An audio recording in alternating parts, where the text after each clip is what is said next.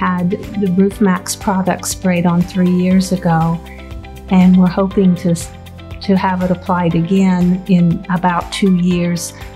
I believe in this product because it's good for the environment and it's cost effective. And so it's a win win for everybody.